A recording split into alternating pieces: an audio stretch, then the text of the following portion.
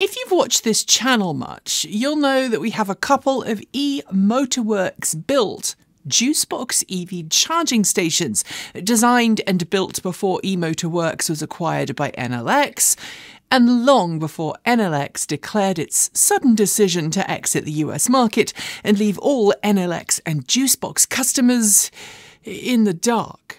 And you'll also know that in the last few weeks, a project designed to help stranded customers regain control of their juice boxes has made some pretty impressive strides in wrestling the smart connectivity from the abyss and back into the hands of EV owners. Last month, I told you that I'd finally managed to get both of our juice boxes working with the Juice Pass proxy app, and today I'm going to explain just how we did it all. It's a little bit of a different video, I'm not on camera for a start, and more of a tutorial than anything else. So, because I know we all needed a bit of distraction right now, let's get on with it.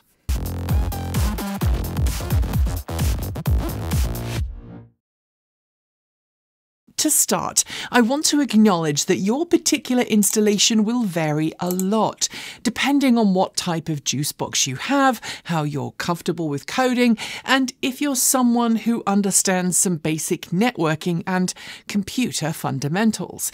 Today I'm going to focus on the software solution to get original Juicebox hardware working as originally intended, giving you the ability to change charging currents as required by your specific needs. I'm also going to focus on situations where you might need to get two different charging stations working side by side using JuicePass Proxy, Home Assistant, Unraid, and a few other things to get everything working as it should. But, and this is important, if you've got just one Juicebox charging station, it should still be working just fine without access to the official EnelX servers. Sure, the smartphone app won't work and you won't be able to start or stop charging remotely, but it should still work as a non smart charging station. And if you're someone who wants some smart charging functionality but doesn't want to do the hoop jumping I'm about to, keep your eyes peeled for a drop in control board replacement for original V1 and V2 juice boxes from Open EVSE. They've already got a replacement board in testing, and you will eventually be able to open up your juice boxes and replace the proprietary hardware that runs proprietary software with an open source EVSE controller instead. With all of that done, let's look at what you're going to need for this, and I'm going to try and explain what's going on as we go. And Obviously, disclaimer, this video is for educational purposes and in tweaking this setup you could potentially cause damage to your charging station, your car or your home.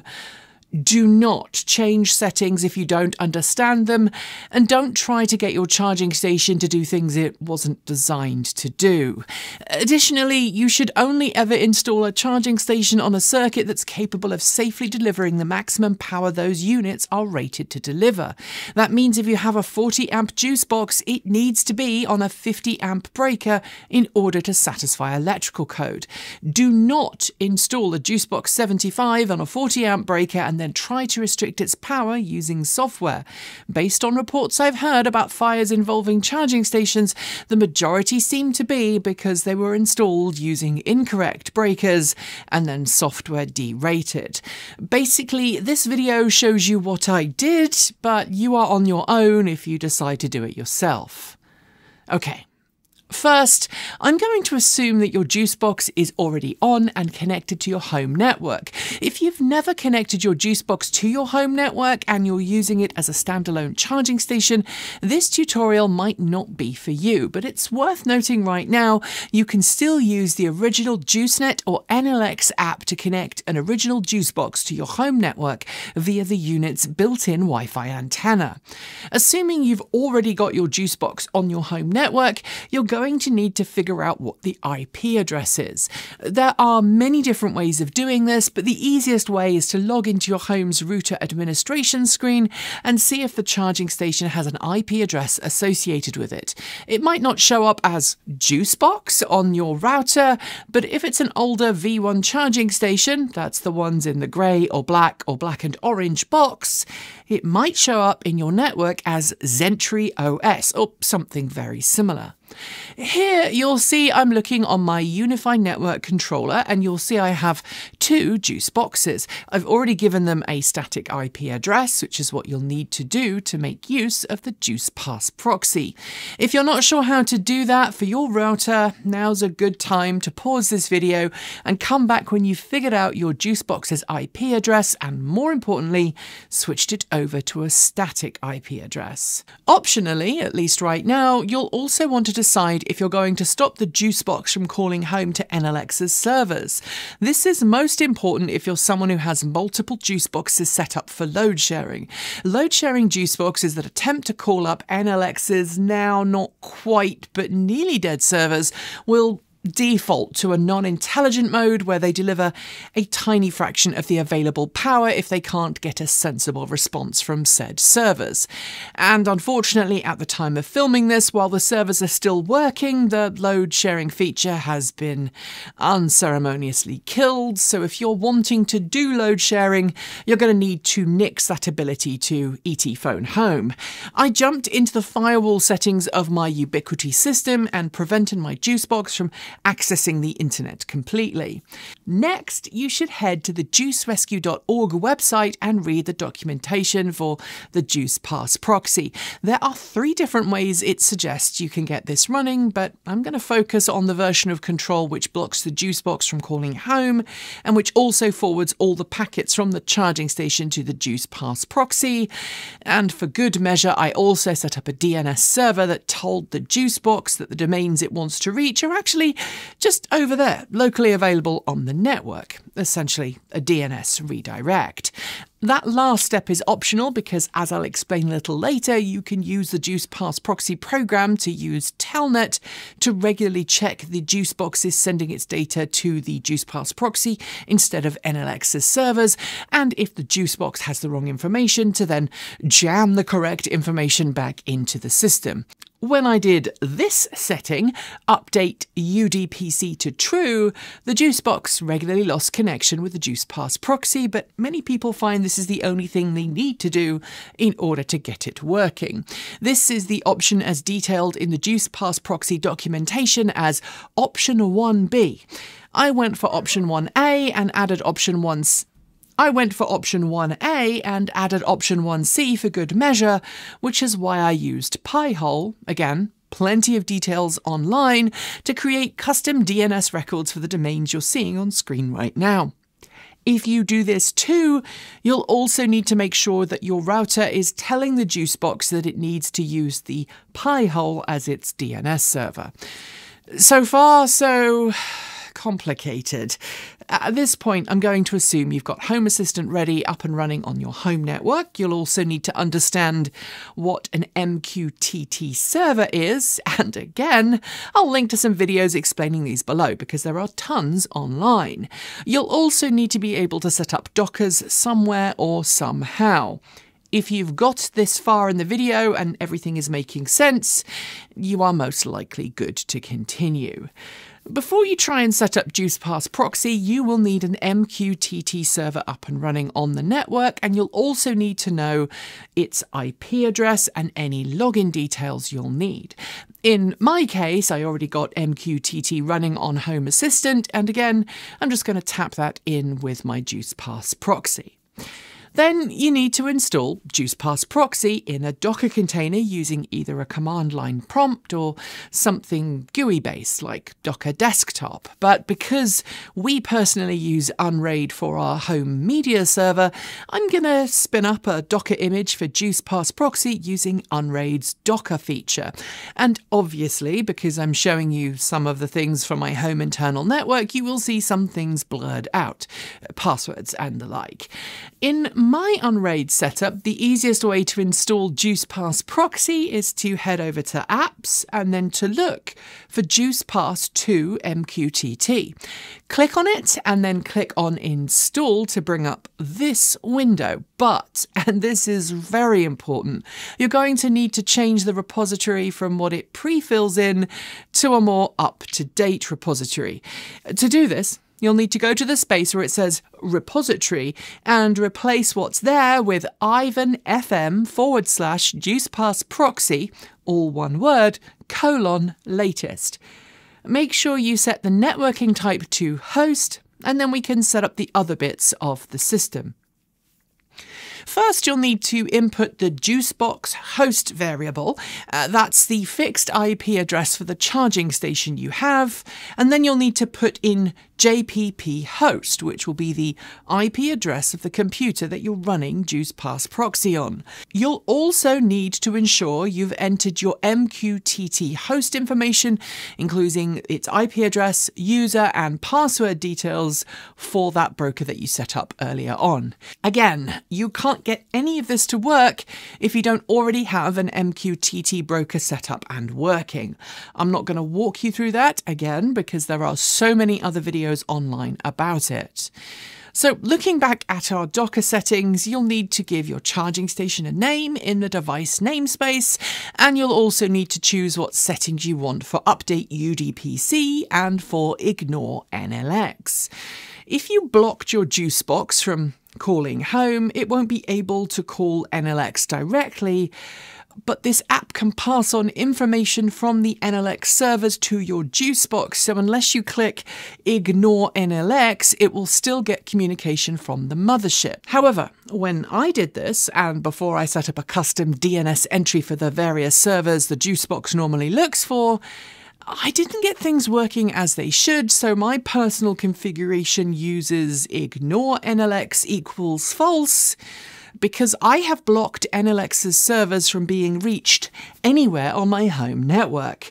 I also have update UDPC set to false because, again, due to those custom DNS entries on my Pi-hole instance, I don't need to force the juice boxes to go back to a server that I've built because, thanks to that little DNS hack on Pi-hole, my juice boxes legitimately think that they are talking to EnelX. Okay, with all of that set up, you should now be able to spin up your Docker, and then if you look at the logs, you should start to see things populating like this. And this should show you that the Juicebox proxy is working, and now you just have to wait. With all of that working, we're going to head over to Home Assistant, where you'll need to head to the MQTT integration. You should now see your juice boxes appear as devices within the MQTT setup. Click on them and you should see something like this, detailing how much energy is flowing and the ability to set your max current. If you see all of that, fantastic. Great, well done, it is working. If you don't see this pop up, check your MQTT and also check that the JuicePass proxy is working as it should. You may need to look at the logs. But if you have issues with that, the Discord server for the Juice Rescue and JuicePass proxy program is a great place to head and ask for help. I'll make sure there's a link in the down below. You'll see in this window that we also have two different sliders. One is max current online slash wanted, and the other is max current offline slash wanted. The offline one won't appear initially as it does take a few minutes to populate that within JuicePass proxy, but when you have these, you can now control the current that's going to be delivered by your juice box to your EV. Set the current to zero for both of these values and your charging station will pause, set it to a higher value and your charge station should begin charging. But I'm not going to go through all of the different automations you can make here, nor am I going to go through the different dashboards and ways that you can integrate this into your Home Assistant setup because Everyone's setup is different. This, for example, is my main charging dashboard, which is still very much in progress and built using the excellent charger card integration that you can find through HACS. But at this point, you might look at this all and say, hey, you have two juice boxes, and you'd be right, I do. And sadly, setting those two up was, frankly, a bit of a nightmare. Because the JuicePass proxy program only handles one instance, You do need to have two JuicePass proxy instances spun up, each with their correct settings for their respective charging station.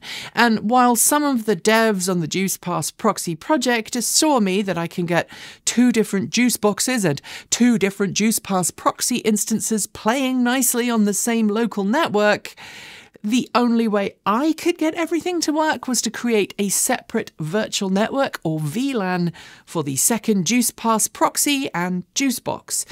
When I did that, it sorted out the networking traffic between the two and everything worked as it should. It didn't before I did that, and now I can luckily use automations to decide what to limit my respective charging stations to, depending on if one or both of the juice boxes are being used. I'm eventually going to change this to use a Python script that one of the team on the JuicePass proxy project designed, but for now I have both charging stations working using home automation automations. If I plug one vehicle in, that juice box will get its current limit set to 40 amps, the maximum allowable on the 50 amp circuit, but only after the other charging station has been told to set its limit to 0 amps, ensuring it also can't pull power. But if that second charging station suddenly gets a vehicle rock up and plug in, another automation will kick in that sets the first charging station's maximum current down to 20 amps, verifies that has happened, and then and only then ramps up the second charging station's maximum current to 20 amps, which means that both charging stations are pulling 20 amps each, sharing the maximum 40 amps of available power. For me, all of this works, and it was a fun challenge to implement, but I'm not going to lie, if this sounds like too much trouble, it's okay. If you're going to replace your juice boxes with something else, though, do me a favour. If you're going to buy a new charging station, don't just throw your old one away. Donate it to someone who can use it, or perhaps offer it up to someone at the Juice Rescue Project. There are links, they're down below. Thanks for joining me today, and if you've got some thoughts, make sure you leave them in our Discord chat room, our Patreon page, or you can reach out to us on Mastodon. Thanks to the amazing list of people scrolling by on your screen right now. They are some of the more than 1,500 people who help fund this channel through Patreon and YouTube, covering our bills, paying our team, and making sure that we can remain 100% independent. If you'd like to join them and see your name listed here, just follow the links below. There are a range of different tiers that you can sign up for from as little as $1 a month, or if you pay yearly, just over $10 a year. A huge welcome to our newest supporters Alan Brim, Jim, Sarah Horlock, full name, Todd Johnson, Roderick, Stuart Despain, Rupert Ronson, Larry Phoenix, Darla, Wendy Kelly Bundenbaum, and Kay. To join the list and get your shout out, become a paid Patreon member for your moment of fame. If you'd like to support us with a one off donation, you'll also find links below to make Ko-fi and Bitcoin donations, and we even have a good old fashioned PO box you can reach us at, address also linked below. And of course, if you're in need of some swag, you'll find our swag store in the down below. Don't forget that Halloween is coming and we've got some great designs for the season.